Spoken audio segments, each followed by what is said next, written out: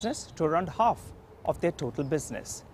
The EBITDA in FY23, well, it surged due to higher margins in conventional, premium conductors, increase in cable volume, and also potential benefit of supply-demand imbalance, which led to a surge in exports. On a per unit basis, the conductor business EBITDA per unit that surged to around 44,000 rupees. That was aided by favorable market conditions post-COVID, as customers they paid a premium for reliable delivery.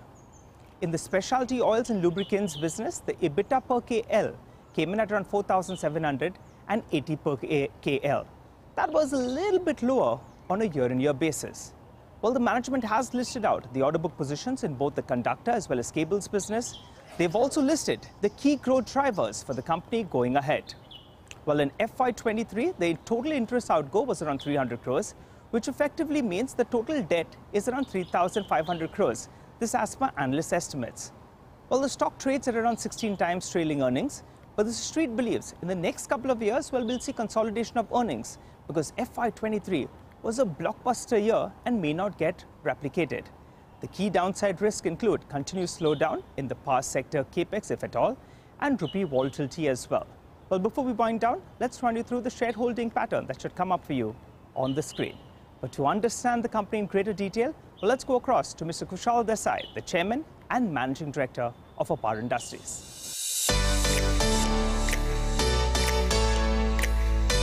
Mr. Desai, thank you so much. Welcome to our office.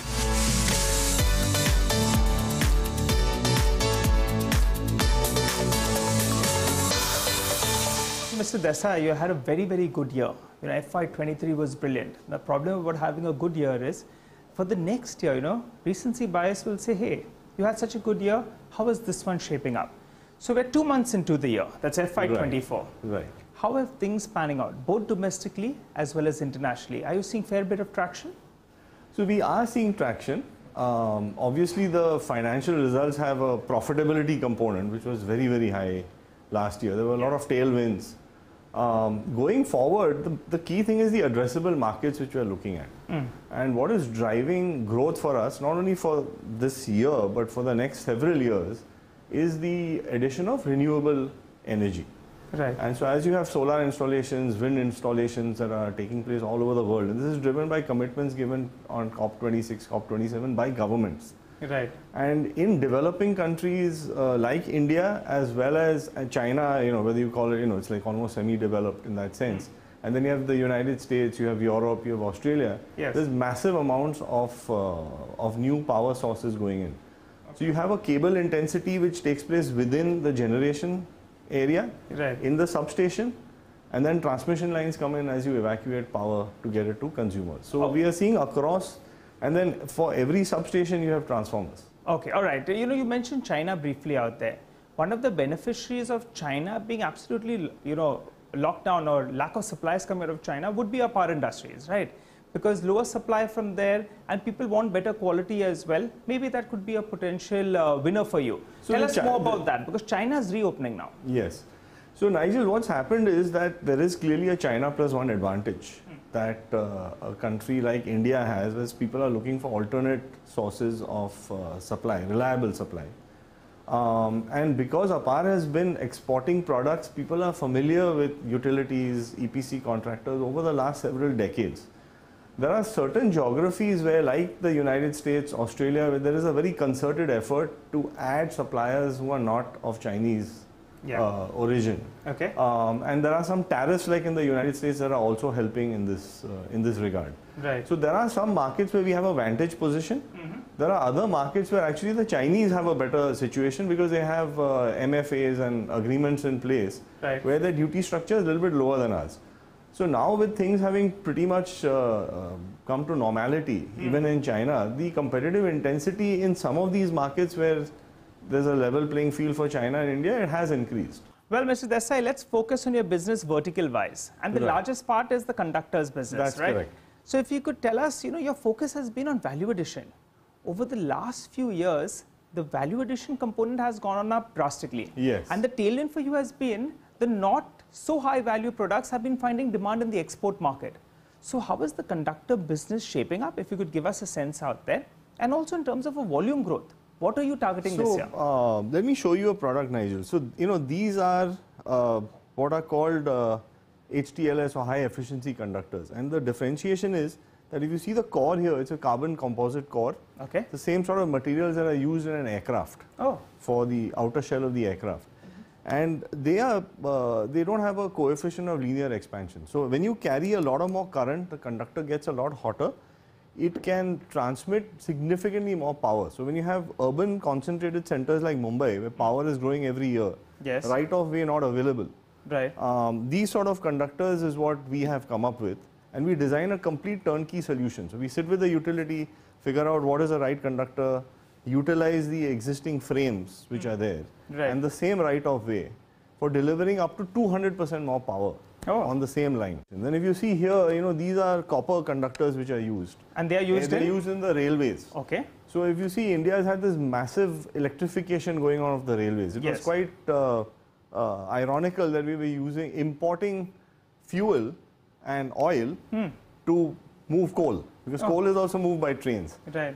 So when the government moved towards a program of electrification, we became the largest supplier of uh, these sort of copper cables uh, or, or copper conductors for the electrification of the lines. Okay, so you know, I just wanted to understand in terms of the conductors business, what kind of a volume growth are you looking at? Last year you did around 160,000, I think, roughly. about a 10%, 10 to 15% growth. Uh, 160,000 is what we did. We've given a guidance of getting to about 180,000 okay. tons of this year. And what kind of capacity do you have? Do you think since the market is growing at such a brisk pace, will you have to add capacity? So we are going through a big uh, expansion in capex, about 400 crores, which will go in over about 18 months. Okay. Of which 100 crores is dedicated to conductors and rod capacities. Because you know, as you see, some of these higher value conductors are Yes. all made out of aluminum alloys, Got it. and we have our own alloying technology. Right. And uh, so, you know, this expansion allows us to increase capacity. It also increases fungibility. So, depending upon the kind of demand that people have, or utilities and EPC contractors have, we can switch the product lines to meet uh, their requirements. And post this capex, what does your capacity go to in the conductor segment? It'll go closer to about 200,000, but uh, uh, besides that, we, we will be able to produce a lot of high value conductors pretty much through all the plants. Okay, so in terms of value addition, I think you're around 45 50% approximately. So, where do you see this number stabilizing? Value addition as a percentage of conductor sales and also EBITDA per unit. Last year was a dream year, you know, 44,000 odd. Last year we had a whole lot of tailwinds. Yeah. The years, the two years prior to that did have uh, headwinds, Headwinds, because of yeah. all the COVID-related issues. But you know, we've guided that about 25,000 a ton, you know, is what is a sustainable uh, level. Mm-hmm. Um, if there are any specific tailwinds, it could be a bit uh, higher. Okay, you also spoke about the cables uh, business. You know, cables, you're more into industrial cables. That's Yes. not so much into B2B, but you're also looking at growing that uh, that part Yeah, of your so business. actually we have, so you know, these, this wire that I'm holding Mm-hmm. is a wire which is called Apar Anushakti wire. yes. And if you see there, you know, we've got Sonu Sood, uh, you know, as the brand ambassador for those wires. The uniqueness of these wires is that they can carry up to 50% more current. Okay. So as of now, I understand that the cables business, the B2C part of it, that has grown from around 120, 130 crores to I think 175 crores approximately. Yes, cables and wires yes. business. So what is the outlook out there? Same, from 100 we went to 175. right? This year we are targeting 275 to 300. So just mathematically going by rate, maybe 20, 2027, 2028, you should be at 1000 crores. That's the aspiration. We are working towards that. Okay, all right. You know, you so you have told us a little bit about the wires and the uh, cables part of the business. We spoke about the conductors as well, but there's another element in there. Yeah, the lubricant side. Lubricant side. Yeah. So, So, for example, uh, let's see, we have uh, we have you know these two products. You know, this is Cruise and this is i-Sint. So we do the ENI brand for South Asia. So we have the license. We manufacture and distribute ENI branded products in India, Bangladesh, Sri Lanka, Nepal. You know this area. So i-Sint, for example, is uh, a synthetic. It's a hundred percent synthetic product. okay. Top of the line. You know, for high-end passenger cars Right. very low emission, um, meeting all this new Bharat 6, Euro 6 standards, etc. Okay, so now in terms of this part of the business, you know, however you want to term it, I think as of last year you did around 480,000 on the volume aspect. Yes, 480,000 kiloliters. So yeah. where do you see that number headed? What kind of a volume growth are you looking at? And also I think in terms of an EBITDA per KL, you know, you are in that vicinity of around 4,500. So I think we, we are guiding about 5 to 5,500 because that's what we think is a level which you know is a sustainable level uh, that we can get to. Um, we see a growth of about five to seven percent.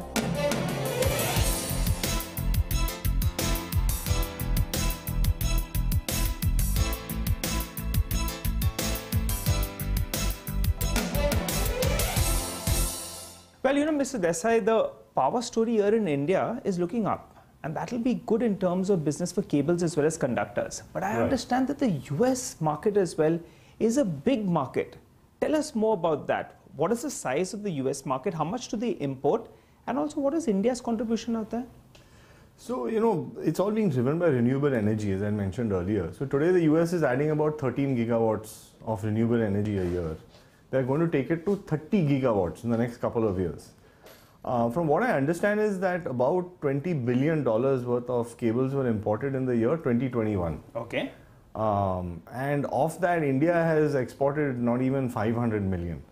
Um, given the fact that we have uh, the relationships that India has with the US, you know, uh, our tariffs haven't changed relative to China, which is much higher. There's a big scope of actually moving product and selling into the US. Explain this to us. The interest cost that you're paying is around 300 crores. Yes. But you're not sitting on a big debt. I think acceptances are. are, are So what happens is. Nigel, you know, just let me spend a minute to explain that, you know, so we end up importing aluminum, base oils, and, and, and many of our raw materials Yeah. on extended credit terms, you know, suppliers uh, credit. Um, simply because the delivery cycle is a bit long. So you manufacture, and in many cases, you know, uh, customers want it on a DDP basis. So you have to deliver it to a site, you know, in the US or a warehouse in the US, and then they pay you 30 days after the product has reached. Okay. So it enables us to uh, to run the cash flow well. Um, the cost of interest is borne into the into the costing. Okay. Uh, many of our customers are EPC contractors, and they also have a long cycle in terms of finally installing, getting paid on a milestone basis. Right. So often they end up opening 120 day, 180 day letters of credit on us. Okay. Usually you have 45 to 60 days which is interest free. That are normal credit terms. And post the rest of it is interest bearing. Okay. So if you see about 4,000 crores of LCs which we have outstanding, against that you have about 2,000 crores worth of LCs that you have from your clients. Okay.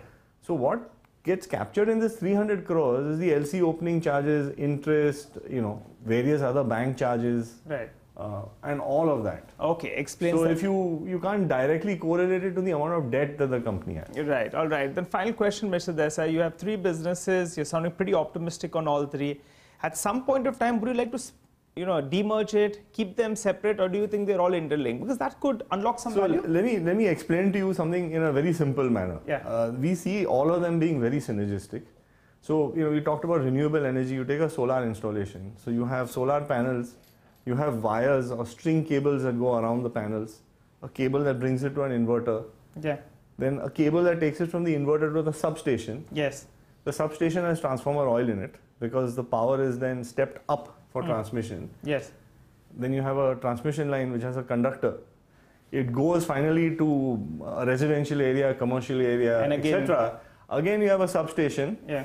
with transformer oil in it, and then you have wires and cables that bring it right up to the last mile. So you believe it's best the businesses So, are kept together. Absolutely, and I think today with this, especially with this whole renewable energy, with the whole change in mobility. Yes. You know, we spoke earlier about, uh, you know, here's an award actually which Apar got from Siemens, a global mobility award. Yeah. Because we did the cabling uh, for the Ahmedabad Metro, for which they actually gave us. The Siemens was the EPC Yeah. contractor for it. So again, you've got electricity running there. You Yeah. know, we do transformer oil, which goes into the traction transformers that run the locomotive. Yes. A lot of synergies in the business. So best kept together. Yes, It- absolutely. it's been an absolute pleasure talking Thank to you. Nigel. Desai. Thanks Thank so you for having me. Thank you. All right, that was a deep dive into Apar Industries, but time to slip into a short break. We'll come back with another interesting stock. DreamFolks is in the swotlight on the other side of this very short break.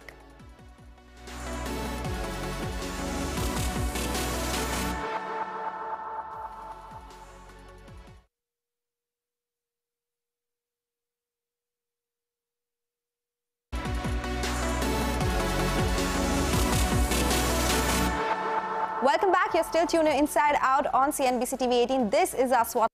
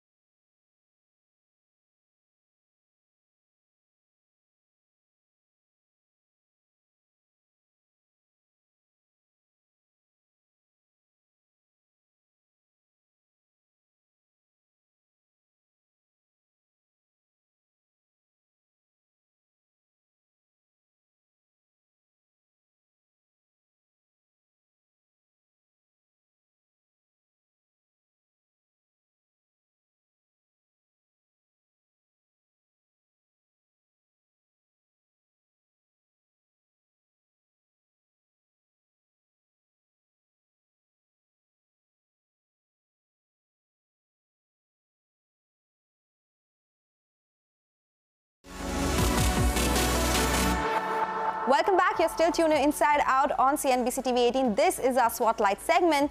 And with air travel coming back with a bang in India, I thought of looking at some of the segments or sectors which are ancillary to this sector. And with increasing usage of airport lounges, DreamFolks came on my radar. Listed in September 2022 with a 55% premium to its issue price of 326, the company is an airport service aggregator and provides airport-related services such as lounges, F&B, spas, meet and assist and nap rooms and hotels for transit. In FY22, company had 95 to 97% share in the India-issued card-based access to domestic lounges and 68% market share of all the lounges in the country. Let's explain this via the domestic lounge market. Now, travelers can access lounges via loyalty program cards, which is around 5%. There would be digital or QR codes. 6% of them do walk-ins. Airline voucher is around 3% and rest do it via credit or debit cards, which is a whopping 82% of the total access market. Of this 82%, DreamFolks has a market share of 95 to 97%. Now let's understand the value chain of the lounge market. DreamFolks would have three types of clients. One would be the credit card company itself, something like RuPay or Diners Club. Second would be the banks who are the card issuers, something like Axis Bank, Bank of Baroda, HDFC Bank, ICICI Bank. Then you would have the corporate clients. There would be Indigo, Ease My Trip, Club Mahindra, to name a few. Now these corporates, they tie up with DreamFolks, where DreamFolks issues cards or vouchers, gives app access to customers on clients' behalf, and this is via a hybrid model and access is given to multiple services like lounge access, meet and assist and the others which are mentioned here. Now they have an asset-light model with minimal incremental capex needed to be deployed by the company regularly. This allows for high operating leverage. The major costs would be employee costs, of course, but that is around 4.9% of revenues on an average basis last few years. And technology costs are important as well, but they have been around 0.4% of the total revenues. Now, a quick look at the financials. FY20 and FY21 revenues, they were hit by COVID. FY22 did see some recovery and then there was a big jump in FY23 to 773 crore rupees. Margins too haven't gotten back to those levels of 18%, but they have been between 16 to 17% in last 2 to 3 years and they reported a loss in FY21, but this is after profits of 32 crores in FY20. From there, their profits have increased substantially, currently tracking 72 crores. But important to note, the revenue number, this is the deemed revenue, that is the value of service they provide to the client, but the actual revenues, they are only the commissions they earn from clients. Hence, the important metric to look at is the gross profit earned per customer. That was at around 137 rupees in FY20, then it saw a fall to 129 rupees in FY21 and FY22, and in FY23 there was a big jump to 156 rupees. Whether they can continue this or not is the key to track. Now with every business there are some risks as well. The revenues and profits for DreamFolks are dependent on air travel growth. If passengers reduce, this would hit their revenues. Also with rising fares, this number is key to track. There have also been talks of reductions in MDR rates, which is a rate charged by card issuing companies every transaction with a debit or credit card. If this is implemented, it could hamper DreamFolks' profitability as their clients might reduce spends on cashbacks and promotional benefits on cards. So that is a possible risk. In terms of shareholding, promoters hold 67% stake, mutual funds at 7%, and some notable AIFs and FPIs also hold stake in the stock. Okay, that was our Swotlight segment, but now we have run out of time on this episode of Inside Out. It's a goodbye from Nigel and I. But do write to us and tell us the companies you want us to discuss and you want to hear about, and we'll feature these on our show. Thanks a lot for watching.